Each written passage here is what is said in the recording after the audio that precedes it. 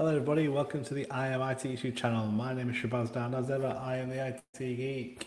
Welcome back to another episode of Microsoft Cloud VDI series. We are on the penultimate episode, so that means uh, the, the one more episode after this. Uh, we're going to focus about talk about security guidelines. We've, we've, talked about, we've shown security baselines already. I want to talk about security guidelines in general when it comes to Windows 365, because uh, very important aspect of it as well. Um, so without further ado, let's get started with this episode.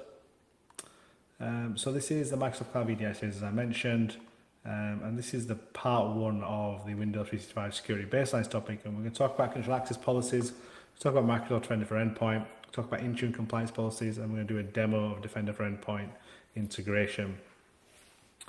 Um, so apply you should apply conditional access policies to control the devices and applications uh, that can connect to your email and company resources. Make sure you use conditional access policy and conditional access to secure access to uh, user access to Windows 365. Specifically, you should really consider using Entra MFA um, to authenticate users as well. And, I, and I'll go a step further, not consider you, you have to use it. You should use it. It should be default. Shouldn't be any sort of um, query around that. Um, it's a must. Um, let's talk about Defender for Endpoint. We are going to jump into Defender for Endpoint portal shortly.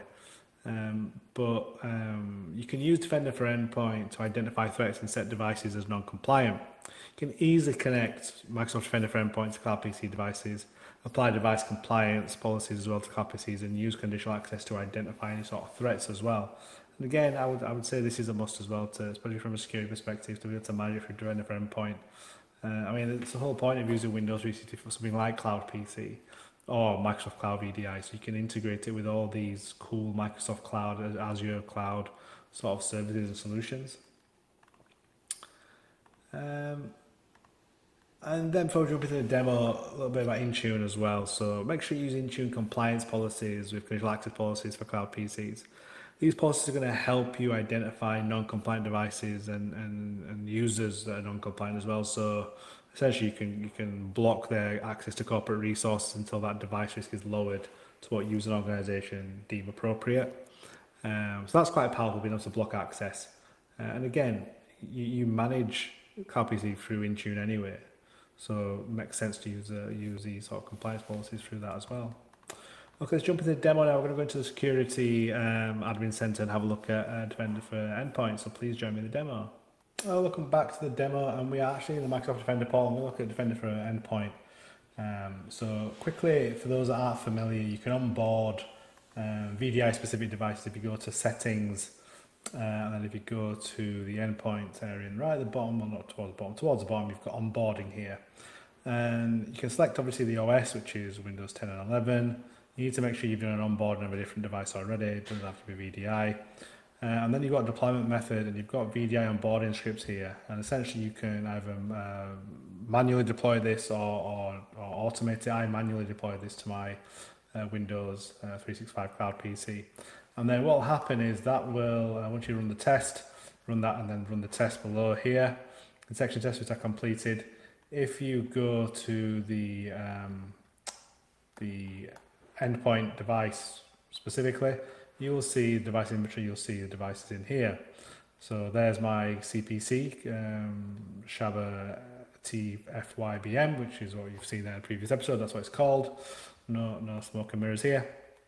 This is where you can start managing it, looking at it, doing an overview, look at sort of alerts, look at timeline, look at security policies, and you can also start to deploy the different policies as well.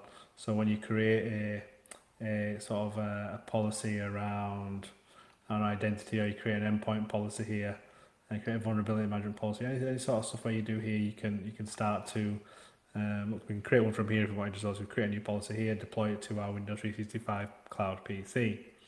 Um, so you need to make sure you onboard it first. That's the key bit, onboarding it in the settings. And once you've onboarded it, you can then go to um, the actual device inventory, and that's where you can start to manage it and deploy all the sort of security policies that we've spoken about already.